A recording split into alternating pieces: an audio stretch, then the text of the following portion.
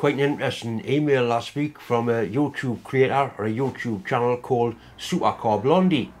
I had a look on that channel and basically there's a quite attractive young blonde lady who does videos about supercars and also some of the older cars. And they've asked me if they can use some of my video from one of my early videos, one of the, the jet card video to do like a, a sort of feature on. Um, I've said yes, I've sent the footage off. I don't see it can do any harm all I can do is give my channel a little bit more coverage. The Saturday night lathe tutorials are going really well. Um, I've had some good feedback from them. Also the casting video that I put on last weekend after the, the nightcap, that went down well as again. So I've had a look through some of my old video and I managed to pull another one out from the archives. Uh, a real classic double boost. So I'm going to put that one on as well as like a little bonus video. I need to put the tape taper thread cutting into practice and put a taper thread on the end of this valve. Um, the inside is screwed 3 8 BSP, so I've screwed a 3 8 BSP nipple in because it isn't going to be much of this brass thread by the time I turn the taper thread on it. I've also got to modify this end to make it look a bit more, I don't know, aesthetically pleasing and then also do something with a handle. But the first thing to do is to chop the end of that off and then machine the threads on. I think I'll take this handle out just in case it uh, gets caught or anything. So I'll take the handle out first.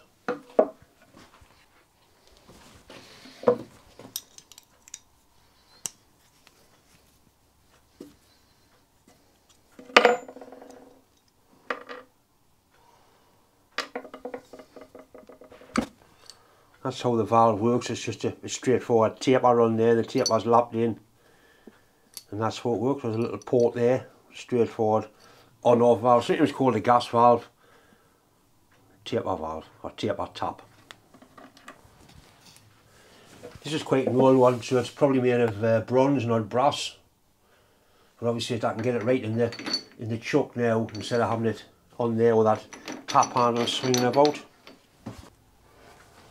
Of course, we can't grip on that part, well we can grip that part, part that off and then move it further out of the, the chuck once we get that end of that removed.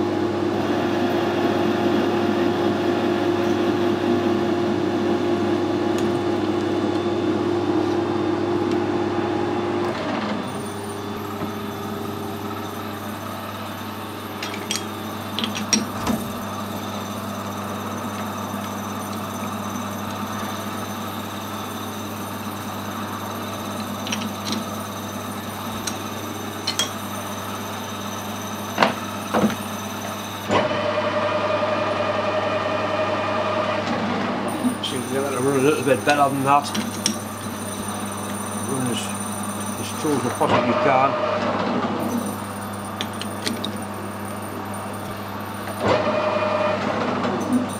Going to have a thread cut on it, so that's better.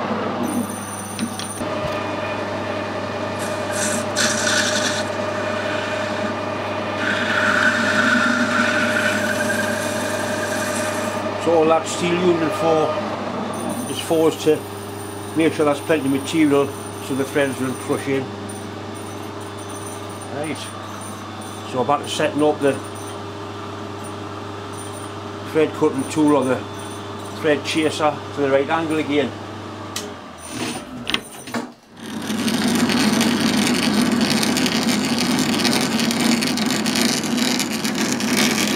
Oh you bastard! Right then Johnny, right, I found one more tap. This is really is the last one. But this time I'm going to leave that taper plug in because that's where the taps have been bending. You see they're very weak around that area there and it's turned that whole, whole oval. So if I leave the taper plug in there, it should be a lot stronger.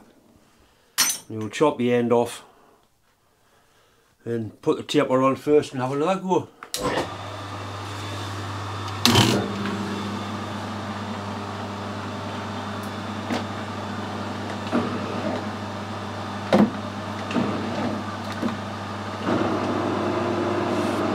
That running nice and true, try and keep it that way.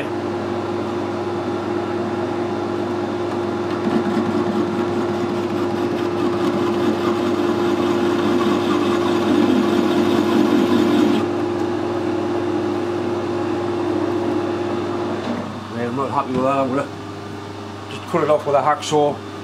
Back the picture of the part tool digging in and ruining that one as well.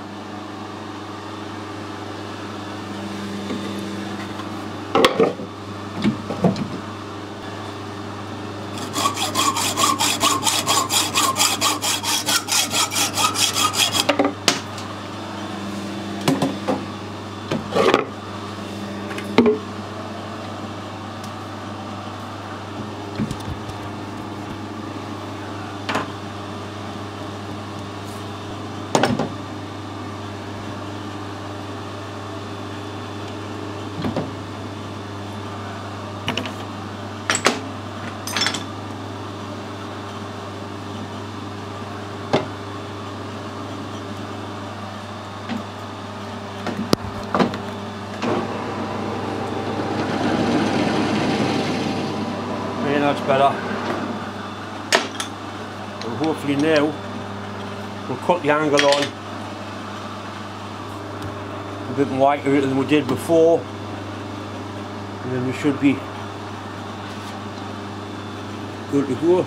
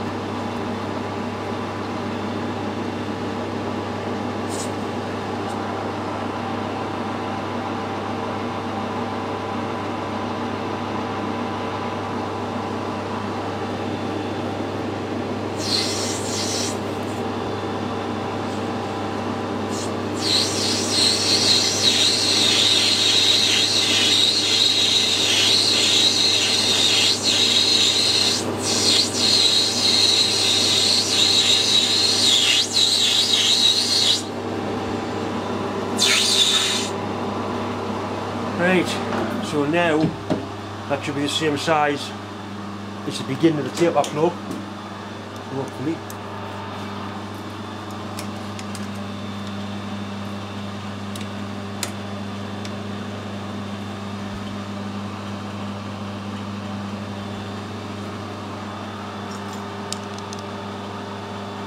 Right, I'm happy with that. As happy as I can be.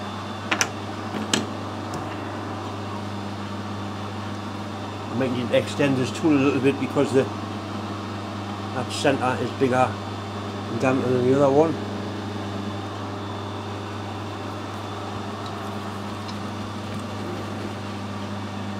No, I should get it.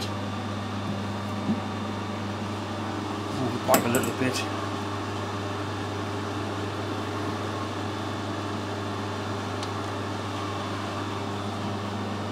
Maybe we should get it there.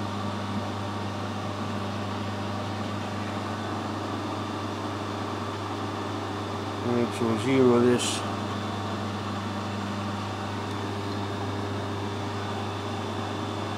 A little bit of cut. Back into bottom gear again. And we're all ready to start once again.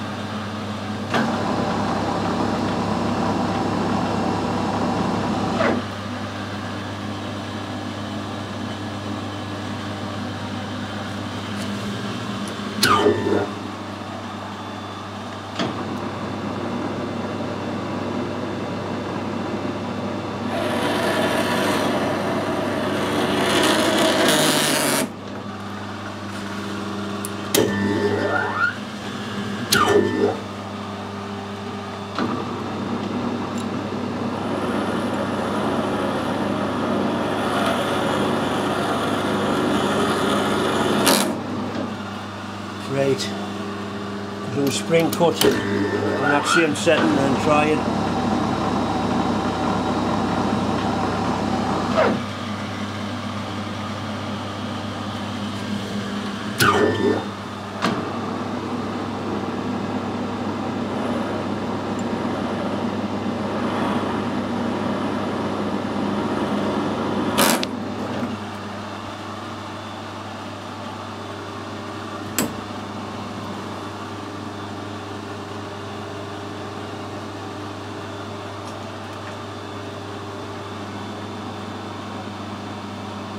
Tape like a bastard because there's not much between it being right and being not right.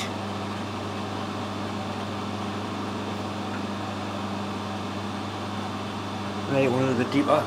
certainly heading in the right direction now.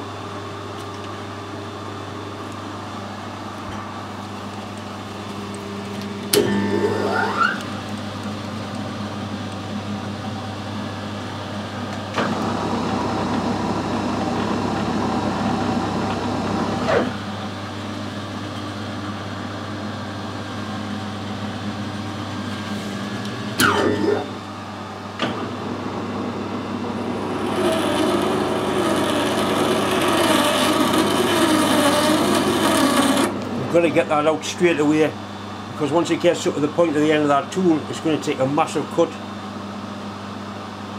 on the full depth. What you would need really is a broader tool, a wider tool to get more thread on it. We're getting there.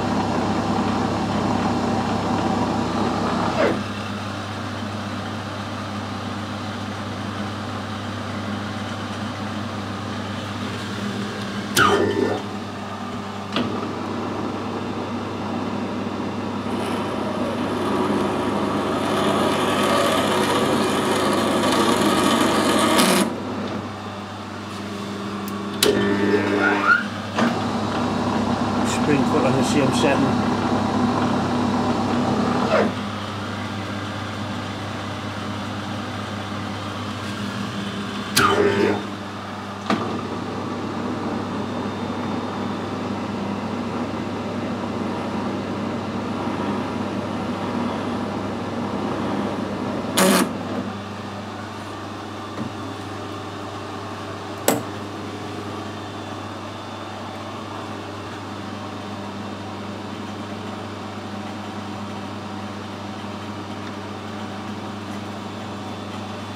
Certainly getting there.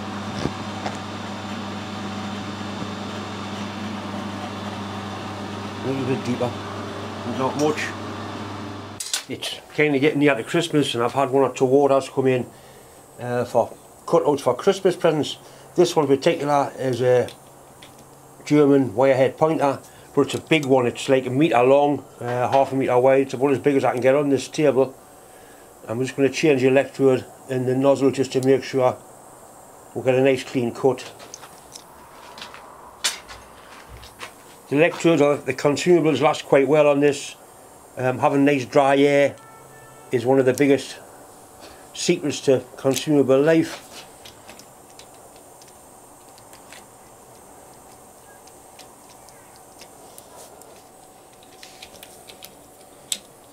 Come on John.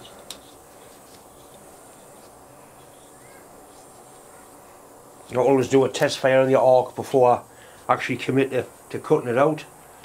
One of the most important things that's really easy to miss is a good earth. You do need a good earth.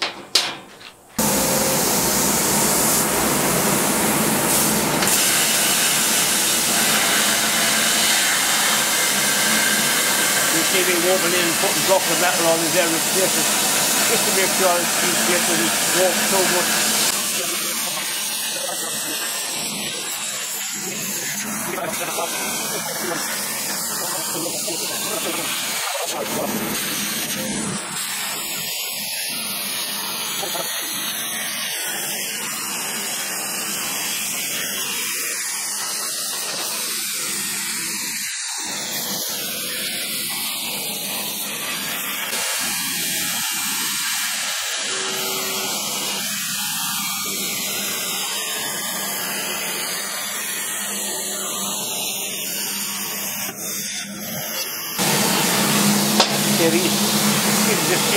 something else. You can see that it is a really, really nice cut.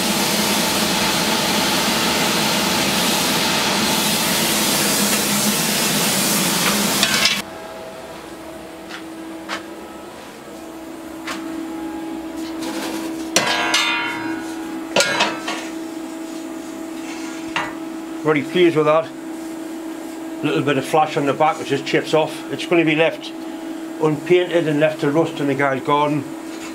I'm sure I'll be happy with that. This is another wire head pointer, ah, but this time it's only 300mm long. He's going to use it as a key hook and weld the plate along the bottom and put hooks on for keys. This is 2mm plate so it should cut it a lot faster. Still cutting on 30 amps con la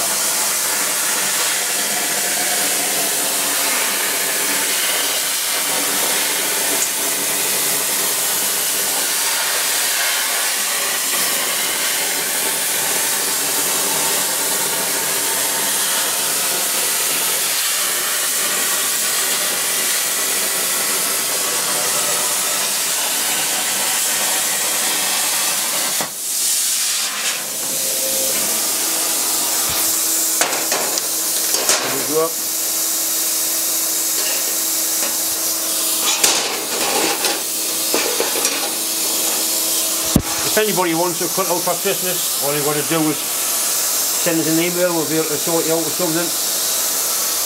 Once again, it's just time to say thanks for watching, thanks for subscribing. As normal, if you haven't subscribed, please do so, it is quite important. Anyway, thanks for watching.